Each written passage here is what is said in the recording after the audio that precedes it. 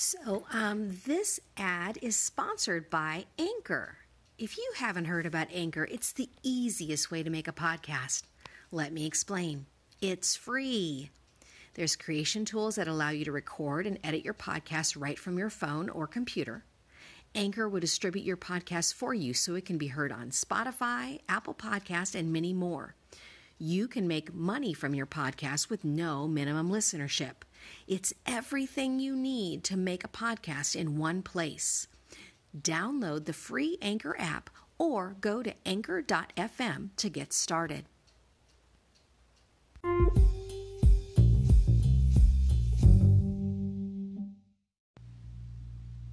Good morning. This is Robin Norgren, and I'm your host for Creativity, Montessori, and the Meaning of Life.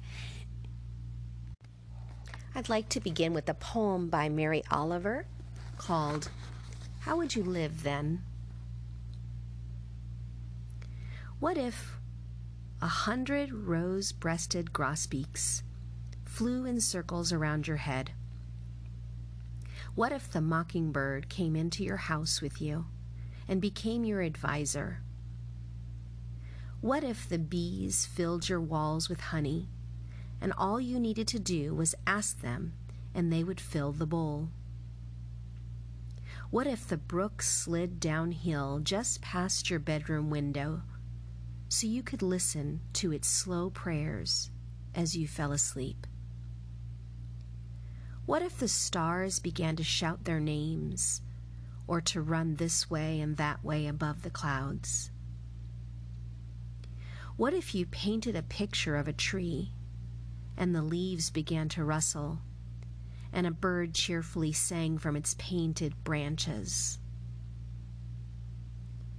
What if you suddenly saw that the silver of water was brighter than the silver of money? What if you finally saw that the sunflowers, turning toward the sun all day and every day, who knows how, but they do it, were more precious, more meaningful than gold.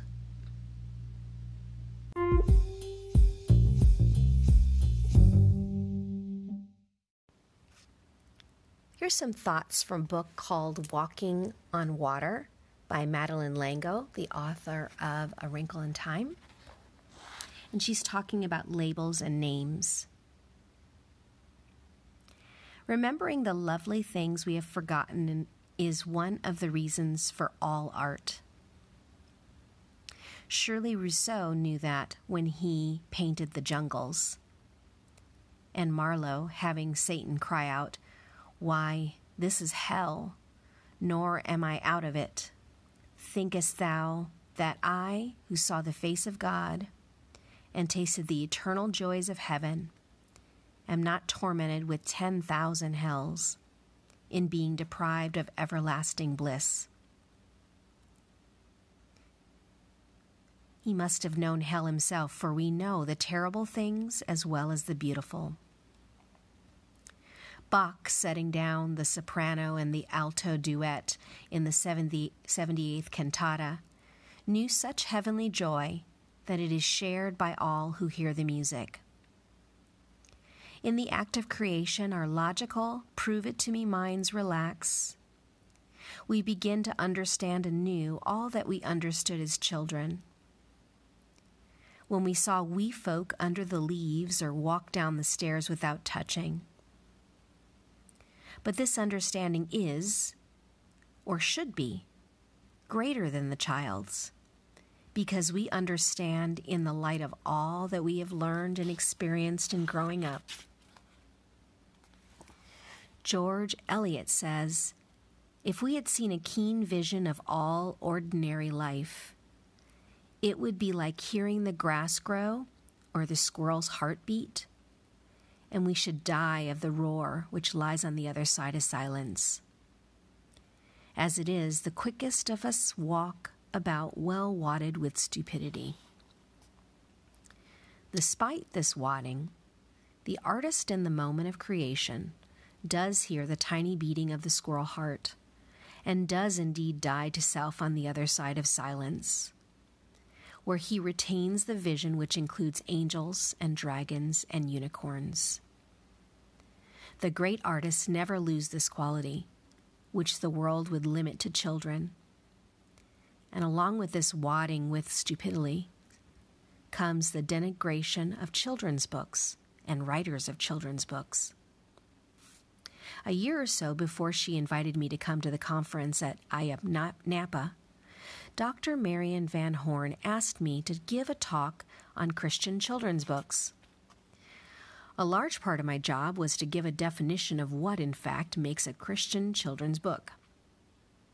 Such a definition would seem to be a simple task, but it is not. It used to be answered the easy way how many times is Jesus mentioned? But that doesn't work. Jesus may be mentioned on every page in a book that is for neither children nor Christians.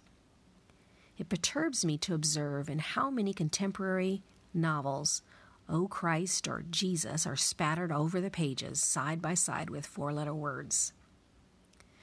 So the use of the name Jesus is no criterion. And the fact that Christian stories are still story further complicates things. For story touches on the realm of art, and art itself is looked on as something unfit for the real world. There's a New Yorker cartoon that shows a woman opening the door of her house to a friend. We look through the door, and in the back of the house, a man is writing at the typewriter with a large manuscript piled on the desk beside him. The friend asks, Has your husband found a job yet, or is he still writing? A successful businesswoman had the temerity to ask me about my royalties, just at the time when my books were at last making reasonable earnings. When told, she was duly impressed and remarked, And to think, most people would have had to work hard for that. I choked over my tea, not wanting to laugh in her face. A young friend of mine was asked what she did, and when she replied that she was a poet, the inquirer responded amused, Oh, I didn't mean your hobby. So it's not only the church that fobs off art as untrue or unreal, and art for children as the most looked down on of all.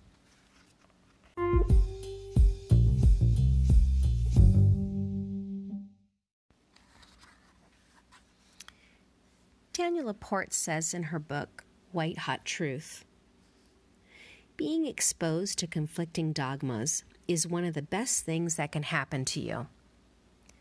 Like Nietzsche said, one must still have chaos within oneself to give birth to a dancing star. Confusion always leads to clarity, and from there you make your art in the world. We fall for some lies to get down to our truth. All the falsifiers throughout the centuries from the Crusaders to charlatans, were just playing their roles in the unfolding of the bigger truth. Some thought they had no choice but to pass down fabrications in order to earn the good favor of their deities. They wanted the riches of paradise that their gods promised in the afterlife. Some were true seekers wrestling with the big questions and earnestly trying to dispel the darkness with love and light. Others were trying on deception and power mongering for a karmic fix. Hey, I know, let's start an inquisition. As humans, we're slightly We've slightly increased our civility when it comes to how we defend and promote our beliefs, but just slightly. We've yet to make the great strides of consciousness in our various departments of truth. We continue to slaughter and exile huge populations from our homelands over fundamentalist beliefs. Scores of us still follow religions that preach extreme intolerance. We kill for our gods. We bully non believers. We wage war for what we believe to be true. Many of us living relatively or blatantly privileged lives have created our own nouveau religion, materialism, it's as pervasive as any of the major world religions. And we fight and kill and steal and pillage and lie for our right to profit and consume. Same shit, different deity, the deity of the dollar, or the yen, or the euro. Our mass consumption has become a weapon of mass destruction, fashioned from lies about so called success and happiness.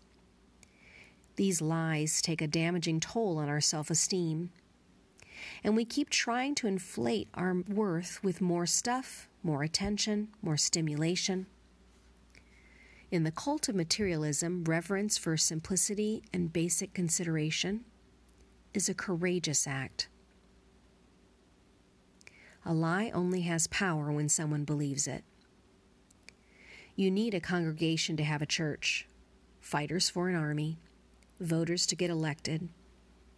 You need buyers for wholesale lies. Lie spreading requires widespread participation. It's not only that they, the government or organized religions or the media or the educators, are cranking out non truths. It's that all of us are paying, by choice, for a variety of deceptions with our money, time, and attention. We need to take individual responsibility for the beliefs that animate our lives. We need to acknowledge the ideas that are driving our choices. So, why do we choose certain beliefs over others? Especially when some beliefs are so damaging? Because they give us comfort and certain truths are very uncomfortable. We crave the comfort of connection. We want that almost indefinable pleasure and ease that comes from feeling connected. We are psychologically and physiologically designed to be in community, and we believe and do preposterous things to feel attached, accepted, and approved of, especially if we can get the approval of a crowd. Essentially, we go along with lies so we can prove points from a perceived higher power. And too many of us think that other people's opinions are a higher power. We stoop and shrink to give more space to outside input. We become cautious and accommodating. We choose to believe that we are less powerful so someone else can feel important when they approve of and love us but at least we get the love we crave. Not that it's real love. If there ever was a vicious cycle. If you think you're defective or in need of fixing, which is the biggest lie of all, you will most definitely attract lovers, teachers, preachers, politicians who want to so called love you, fix you, and lead you. It's an economy of broken hearts and menders too many questions or too much self sufficiency throws the salvation business out of balance. Emancipation and breakups would erupt. Advertisers would go bankrupt. Gods would topple. It would be a self reliance anarchy. So I'm asking you do your beliefs take your personal power into account? Do your beliefs fuel your freedom? Do you believe in yourself?